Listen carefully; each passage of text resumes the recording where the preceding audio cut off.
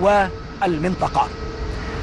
لكن المتابع لتاريخ الأحداث والعلاقات الثنائية ما بين مصر والجزائر يتوقف طويلا أمام عام 2022 فهذا العام يعد عاما فارقا في تاريخ العلاقات المصرية الجزائرية. ففي مطلع عام 2022 في الرابع والعشرين والخامس والعشرين من يناير. قام الرئيس الجزائري عبد المجيد تبون بزيارة هامة إلى القاهرة حيث استقبله السيد الرئيس عبد الفتاح السيسي آنذاك وتم عقد لقاء قمة ما بين الزعيمين الرئيس السيسي والرئيس عبد المجيد تبون.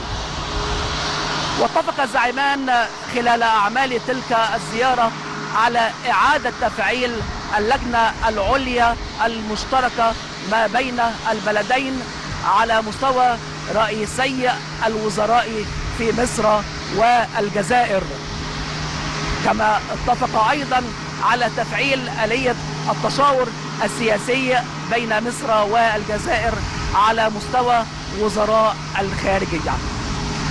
وأيضا اتفق الزعيمان خلال أعمال هذه القمة على أن يتم تفعيل عمل هذه اللجان في النصف الأول من عام 2022 ونتابع مع حضراتكم الآن وصول طائرة الرئيس الجزائري عبد المجيد تبون إلى أرض مطار القاهرة.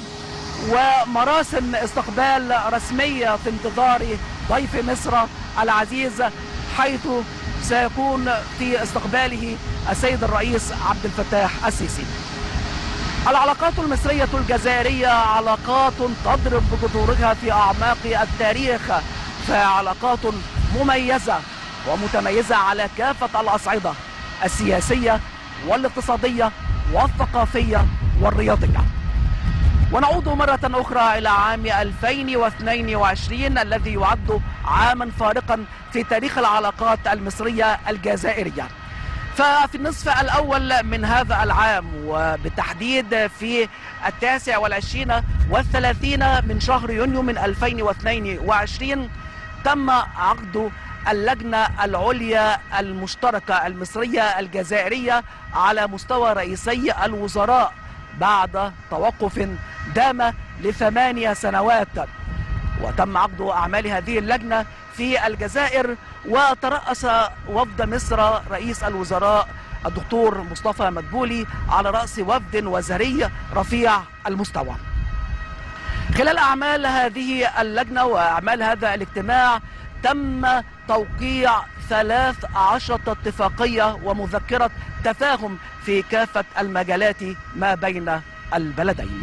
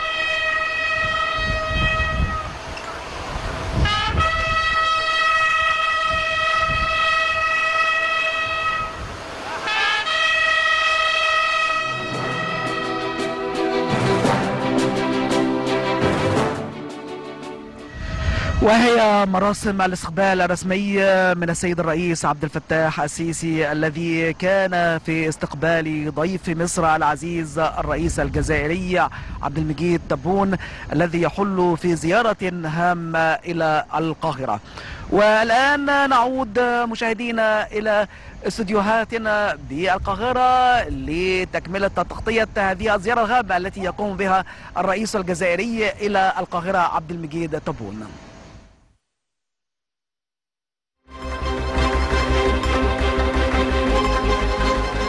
إذا مشاهدينا الكرام نقلنا لحضراتكم مراسم استقبال السيد الرئيس عبد